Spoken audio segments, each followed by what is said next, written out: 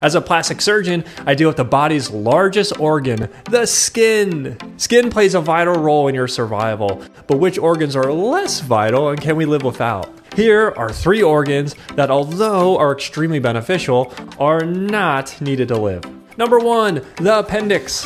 Located at the start of your large intestine, the appendix is thought to play a role in the immune system as well as gut health. But removal of the appendix, called an appendectomy, has little to no effect on your survival. Number two, the gallbladder. Nestled snugly beneath the liver, the gallbladder aids in digestion of food. Removal of the gallbladder, known as cholecystectomy, has little effect on most patients. Number three, the spleen. The often forgotten spleen is neatly hidden away in your upper left abdominal quadrant. The spleen has several important functions, such as helping to fight bacteria, regulate blood cell levels, as well as remove old blood cells from circulation. But to be honest, removal of the spleen, known as splenectomy, has little long-term effect on most patients.